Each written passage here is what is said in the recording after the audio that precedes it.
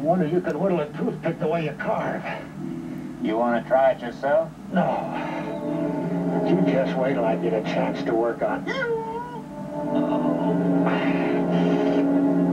Fetch a scoop of that mud, Andy.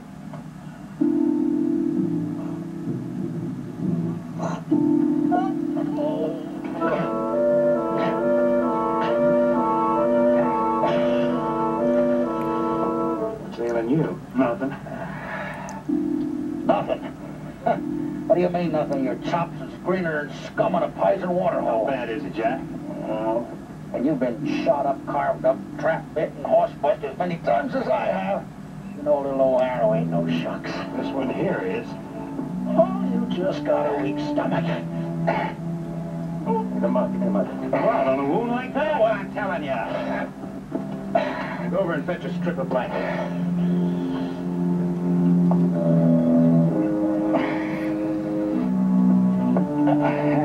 Snake's all right. You're supposed to be an educated man. You know all that filth. It's, it's like poison. Mind your manners, boy. Mud's the next best thing to beaver fur when it comes to stop bleeding.